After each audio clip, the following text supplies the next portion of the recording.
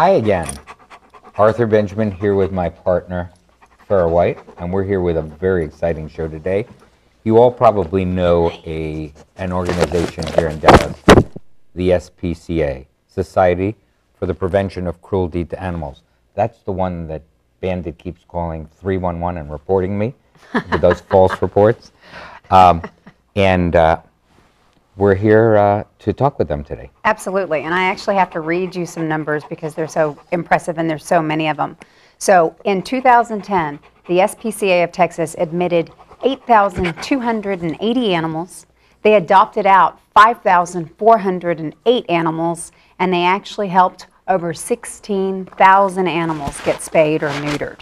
So great, great job. And here to tell us more about what the SPCA of Texas does is the president, James Bias, along with Lacy Ball. So welcome, you guys. Thanks for having us. Absolutely. So proud to have you here. And I think the important thing is to point out that those numbers don't reflect the 88% live return rate that you have for dogs and cats, which is an incredible number. That's correct. the That's, best that's a total all species animal. So we take livestock, we take fighting roosters, and so that, that 8,000 count is, is a much larger number, not just dogs and cats. And, but we do have a live release rate that's about 88% right now. Um, the SPCA of Texas here in Dallas actually changed our intake policy several years ago to where we only accommodate pets into our shelter that we have space for. So we don't euthanize animals based on a number of days or, or that the municipal shelters usually have to face. Well, that's great. Yeah, because it's always a, a concern. Is you don't, you know, want to, if you find an animal, or I think people don't really know what to do, and there's the whole hesitancy of if you take it somewhere, is it, you know, are its days numbered by, Sure. by taking it there? So, And that is a concern for a lot of folks when they do bring uh, a pet to the SPCA or considering having to give up a pet. They, they want to feel assured that the animals aren't going to be up against a timeline. And so for almost seven years now, we've had that policy in place where there is no timeline.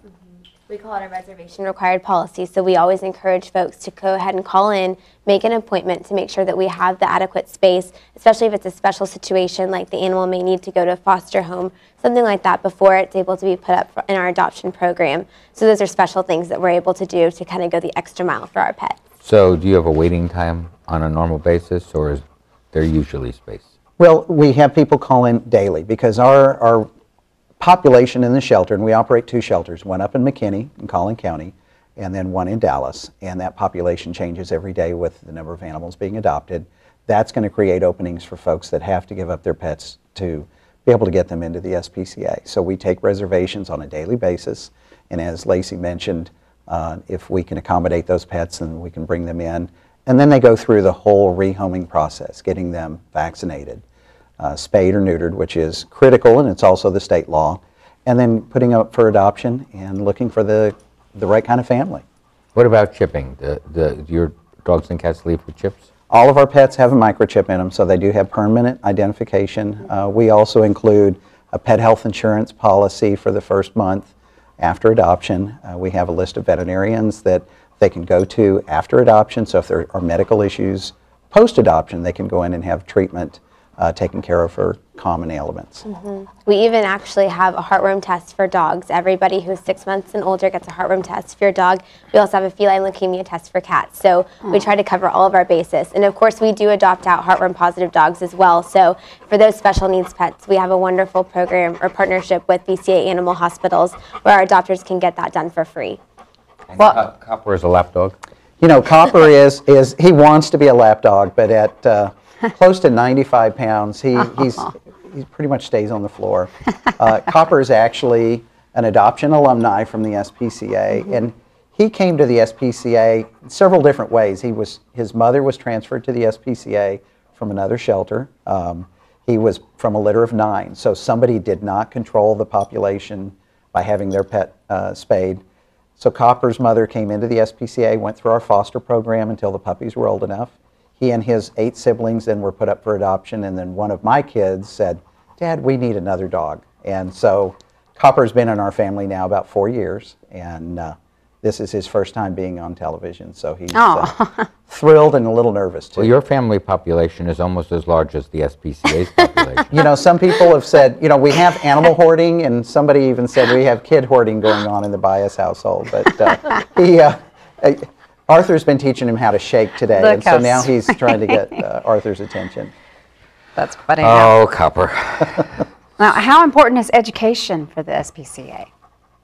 Well, do you want to talk about some of the education Sure, absolutely. we have? Yes, we actually do have an entire department that is ded- dedicated to education. We go out and we are able to educate many schools at, within the Dallas Fort Worth uh, Metroplex. And actually, our humane educator, Michelle, she actually will go in and we start with the little ones. We, we really love to go into those elementary schools. We, we get to teach them about animal cruelty, ways to get involved in your own community, how to look for animal cruelty, how to report it. So we're getting kids, you know, between, I mean, kindergarten all the way up to fifth and sixth grade. Mm-hmm. So that's really going to make an impact for it. And we also love it when they are able to come to our critter camps.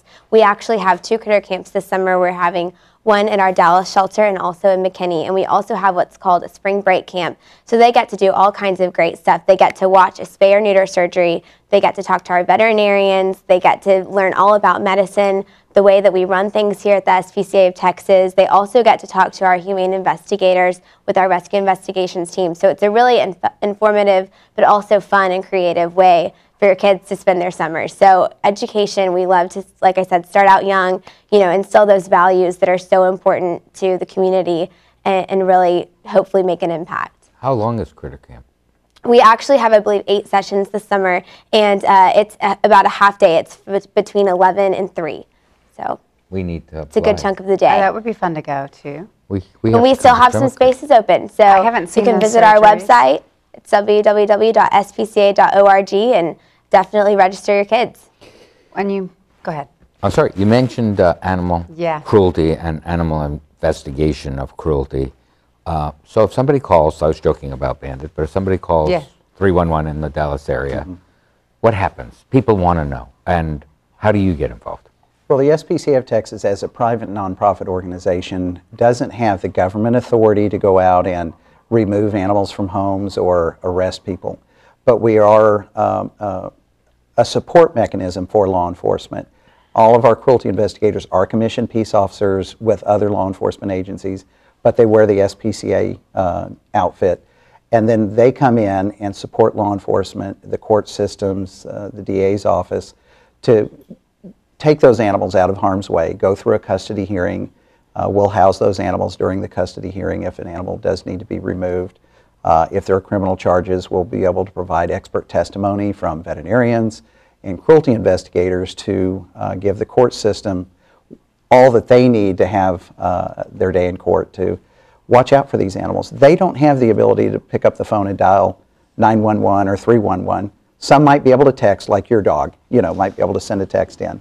But, um, you know, they really depend on people to, to call in those complaints, and the SPCA is that safety net for uh, these, these poor animals. Well, you know, I, I work with an organization called Toss Vets, and we actually have some dogs that dial 911 in emergencies. So it's a, it's a, it's a tr- it's something they can be trained to do. Um, but uh, you also work in combination with other other organizations. I know, like uh, uh, the Humane Society of the United States, of which you serve on one of the advisory boards, and I serve on the National Council. Eh, for example, uh, I don't know how many people know that in the Kaufman raid, where 500 and some odd animals were uh, taken away due to animal cruelty, you took how many of them? About 250 of them. So you took half of the animals that were in the local area that needed a home. And most people don't realize this, but each humane society and each SPCA locally is a, is a standalone nonprofit organization. So there is no chapter or branch. So the SPCA of Texas was known as Dallas SPCA, but because we're in, in Collin County, we used to be up in Denton County, and our cruelty investigators go through several counties. We changed our name a few years ago, but uh, so the Humane Society of the United States really doesn't have a governance role with the local Humane Society. The ASPCA in New York doesn't have any type of connection to us structurally, but we all partner together. So when the HSUS comes in and removes animals from a, a cruelty case, they'll quite often look for the local organizations who operate the shelters to take those animals and try to find a home for them. And so we, we all stay in communication and work uh, together to, to take care of all these poor animals. Now, can we talk about uh, your campaign against puppy mills? Certainly can, and, and there are a couple of things that have gone on in the state of Texas over the last uh, few years. One is uh, a, a generous grant that came to the SPCA through the Rees-Jones Foundation to go in and educate law enforcement agencies, uh, educate the community in, uh, that's looking to purchase an animal from a puppy mill that we know that most people do not want to buy a puppy from a puppy mill, but they don't know what a puppy mill looks like. Right. The, the, the little old lady in the uh, parking lot that has the, the, the wire cage with some puppies, you know, they'll just say it's an unplanned litter, they're trying to make a few dollars, when in fact it's connected to a large operation in another county with hundreds of animals that are left in cages. And so the first part of our, our campaign was educating the community to, to look out for certain signs. When somebody won't let you come to their house and take a look at where those, those puppies are coming from. Mm-hmm. If they're very elusive and, and they can create websites that look fantastic, but those websites uh, don't give an indication of what's really going on. Then again, working with law enforcement, working with the courts. Um, and so we started this campaign last year. Uh, we call it Know the Truth Behind the Cute. Uh, we've had billboards, uh, radio, and television time out there to educate the community, and then certainly working with uh, complaints as they come through to the SPCA. You know, the hardest thing is to look at a little cute puppy, a dog that's three to five pounds that's going to grow up to be a copper, copper. Mm-hmm. But to really know behind that, that when you're buying from someone and the dog is coming from a puppy mill, that that puppy's mother is in a wire cage for their entire life. Mm-hmm. And they may never put their feet on ground. They may just be on a wire, bottom of a wire cage. And that's the reason not to buy unless you know the source of the dog. Most definitely. And, you know, the other thing that's been going on in Texas is certain, uh, trying to create a licensing program. And, and I think y'all have featured in past episodes about those efforts and how they've been watered down through heavy lobbying by the puppy mill industry who feel convinced that, you know, their way is the right way, which is housing these poor breeding animals in an area that's just barely big enough for them to stand up and difficult to even turn around. And so we recognize that our cruelty laws are need to still be enforced. But the more proactive side is if people aren't buying, they're mm-hmm. not going to breed, they're not going to sell. demand. That's right. I'm so glad that you mentioned that about the mothers because that's really one of the most important things that people can look at. Always ask to see the parents of any puppy that you're going to buy, especially if you're looking for breeders. Responsible breeders will be the first ones to invite you to where the puppies are, meet the parents. They'll tell you all about the bloodlines. Typically, they'll do a wellness exam. You can tell that they have gone above and beyond to make sure that all of the puppies in their care are extremely healthy and that the parents are very happy. They will not breed and breed and breed every single time the mom goes into a heat cycle. And that is, in my opinion, one of the saddest things is to see the moms who have given birth to these puppies. I remember one, we actually, the, the puppy mill campaign that James was talking about in the commercial, the puppy is actually from a puppy mill. And you'll also see her mom featured. And one of our amazing foster families, Marion Brown, she was the foster mom for Emmy, who is the mom. And she mentioned to me it was as if Emmy had never even felt grass before. She was three years old. She had to learn to walk. It was, it was incredible and something that I have never seen before working here. So it is extremely an extremely cruel practice, and that's really what we want to educate the public about. That's a great lead in. It is. Let's take a look at that. Let's look at that PSA that we have right now.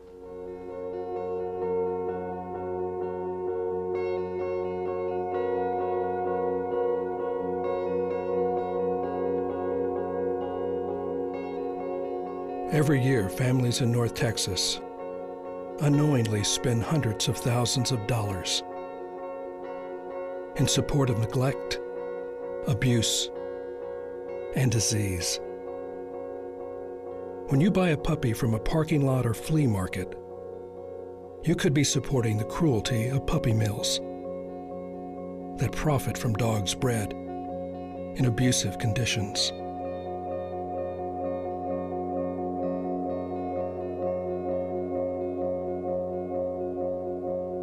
Puppy mills thrive on deception. they hide the harsh reality. So a cute puppy is all you see. Help us stop the cycle. To learn how, go to spca.org slash no puppy mills and take the puppy pledge.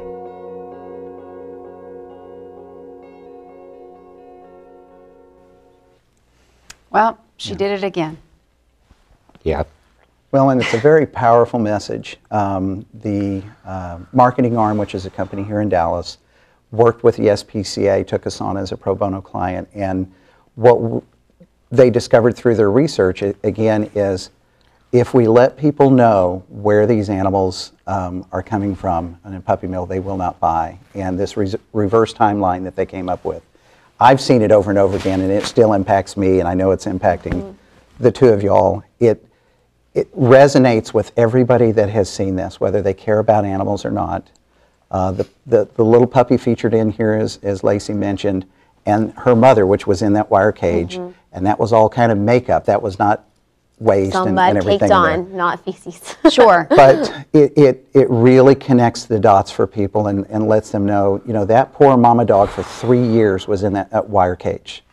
And that little puppy, you know, again, the buyer had, would have no idea. Sure. And, um, you know, we're going to continue to message that out and let people know.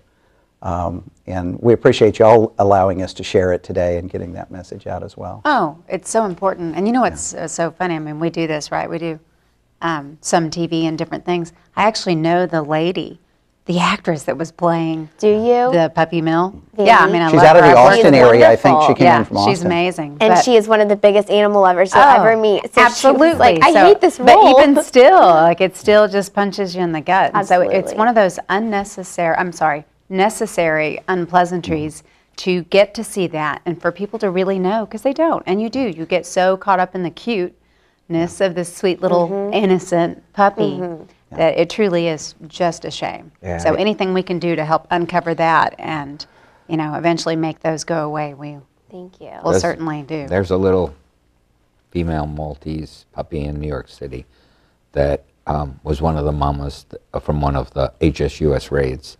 And I was at the dinner in New York and I got up on stage and they told me I couldn't raise money. So I got up and took this little puppy, that puppy, mama dog, but two pounds, named Snowy. And I got up on stage and said, you know, I can't raise money, so I'm going to raise a home for this dog. Dog's name is Cinderella, lives on Park Avenue, has a chauffeur, Wow. and is walked like five times a day. And but it's, it had had to have 18, uh, somewhere around 18 operations, and it's a very lucky dog. But there are thousands that spend their whole lives in cages and die in those cages, and they live in feces, and uh, it's just not good. Yes. When it's really unfortunate because we know that only about a, a quarter of the dogs that are in people's homes come from shelters. The other 75% are purchased from pet stores and, and puppy mills, backyard breeders. And, you know, one, it doesn't make sense to, you know, if you're looking to add a new dog or cat to your family, to go to your local animal shelter and give them a second chance at, at a wonderful life.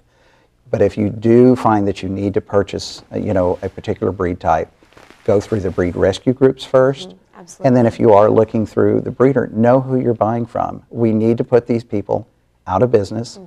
Enforcement on the cruelty side is way after a lot of abuses happen, and the SPCA will be there to work with law enforcement to go after these folks criminally. But we need to just dry up the, the, the need for people wanting to buy these animals. So let's talk about the big fix in Big D, Well- so that we don't lose that one in this time. Well, and, and change gears a little bit, we, we certainly are dealing with a pet explosion across the country.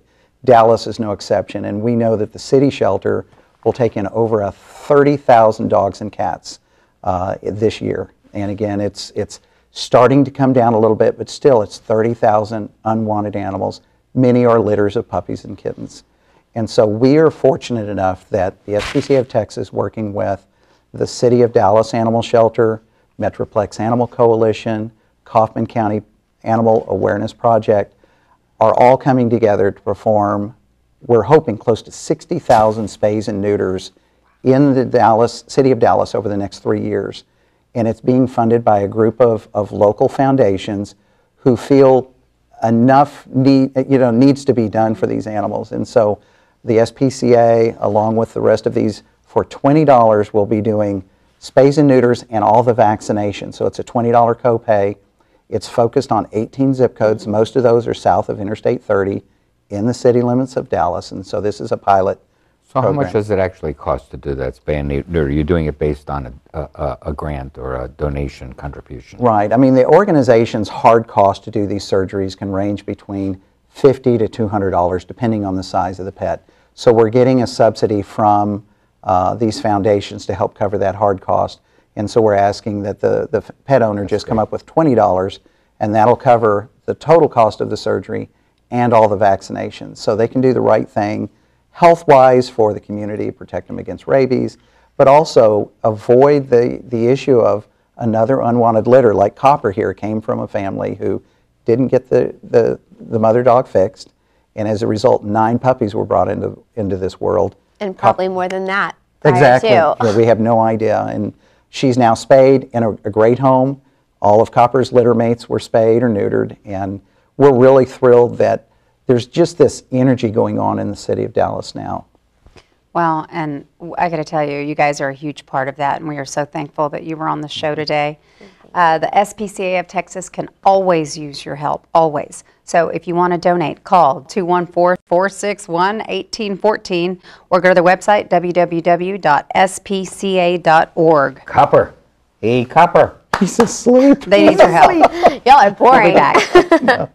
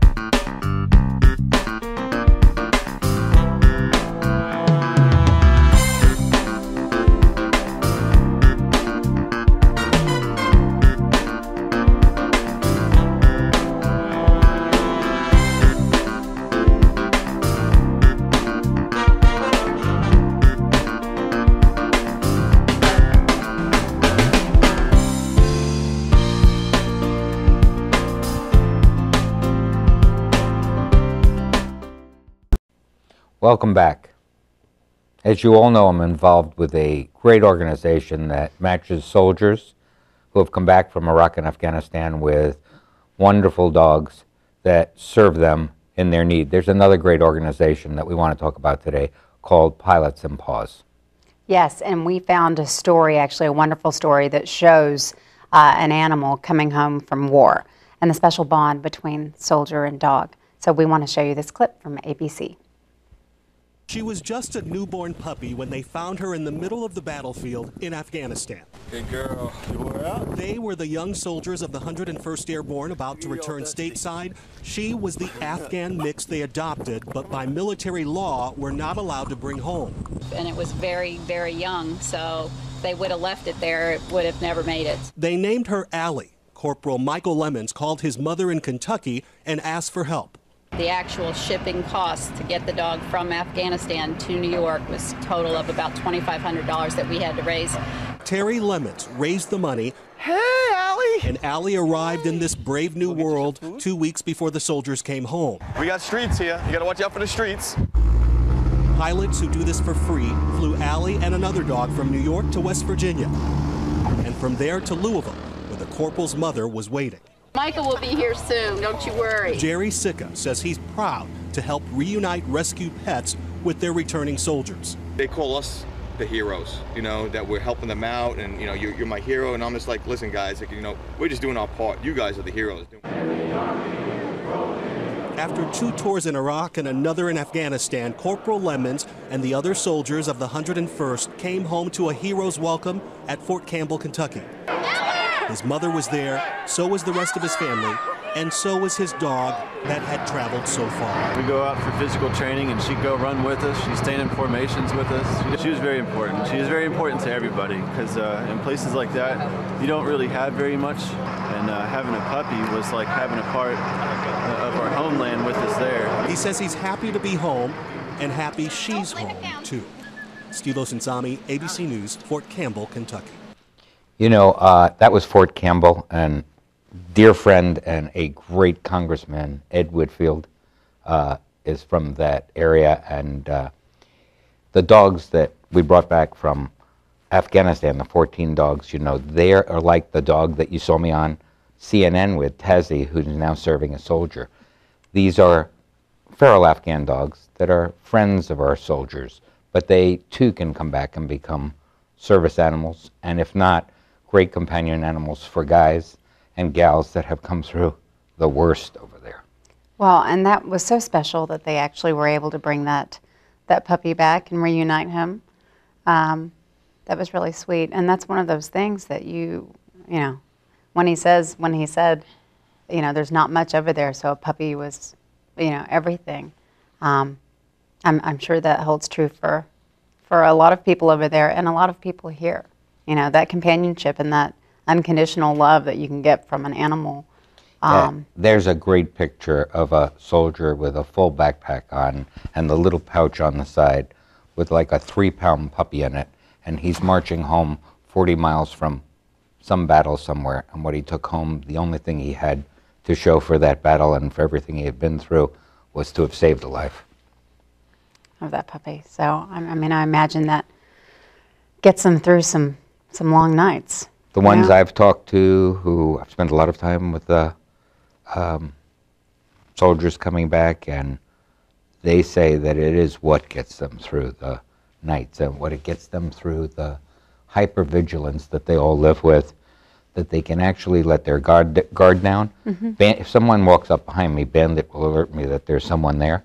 And that's the first time you can really relax because you've spent 24 7 watching all around you, and now you can transfer that to an animal, let the animal watch, and you can relax for the first time. See, that's amazing. It That's is amazing. truly amazing. Well, and I think it helps just tie into, you know, service animals and, you know, pause, pause for vets and pause for all of the the prisons Pilots and and Paws does a great job, and we were so fortunate today to have such great guests. Absolutely, yes. Thanks, big thanks to uh, James Bias and Lacy Bell for joining us, and Copper. Uh, uh, from the from the SPCA. Absolutely. Well, and we didn't even get to talk about their new facility there. Uh, I'm going to go see it, yeah, yeah, I heard that. and we'll go to camp, Critter Camp. Okay, I would love to go to Critter Camp. So, for more information, you know, you can always find out more about For the Love of Dogs at AmericanDogRescue.org. You can follow our shows, you can see our upcoming guests, and be sure to follow us on Facebook and Twitter and YouTube. And we'll see you next week.